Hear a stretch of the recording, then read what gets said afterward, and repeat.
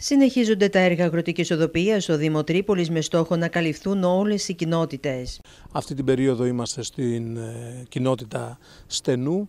Όπως έχω πει επανειλημμένως, ε, τα μηχανήματα του Δήμου ε, καθημερινά σχεδόν ε, βρίσκονται σε όλα τα χωριά μας κάνοντας εργασίες οδοπίας και παράλληλα τρέχουν και κάποιες εργολαβίες, έχω πει αρκετές φορές, μην τις επαναλάβω.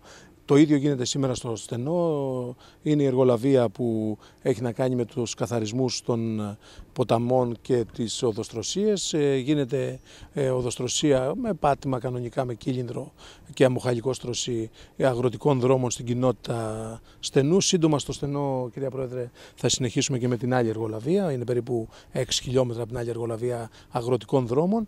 Ε, στόχος, όπως είπαμε, είναι να βελτιώσουμε ε, την αγροτική οδοποιία η οποία σε παρένθεση για πολλά χρόνια ήταν εγκαταλελειμμένη, η αγροτική δρόμη. Μετά από πολλά χρόνια πραγματοποιούνται εργασίες βελτίωσης της αγροτικής οδοποιίας. Είναι ένας τρόπος και αυτός στήριξης των αγροτών, κάτι που το έχουν πολύ μεγάλη ανάγκη τη σημερινή εποχή.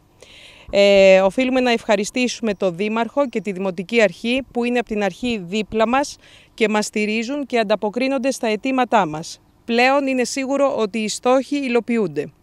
Την ίδια ώρα εντάχθηκε στο πρόγραμμα Αντώνη Τρίτσι άλλο ένα σημαντικό έργο οδοποιία για το Δήμο Τρίπολης. Ε, πολύ πρόσφατα εντάχθηκε και ακόμα ένα μεγάλο έργο αγροτικής οδοποιία στο πρόγραμμα Αντώνη Τρίτση, 3 εκατομμύρια ευρώ, το οποίο θα δημοπρατηθεί τις επόμενες μέρες, έτσι ώστε και αυτή η εργολαβία μετά από λίγους μήνες, τρει-τέσσερι μήνες να ξεκινήσει. Στόχος είναι σε αυτή την τετραετία να έχουμε ολοκληρώσει ε, σχεδόν το σύνολο, θα έλεγα, των αγροτικών δρόμων με όλες τις εργολαβίες που τρέχουν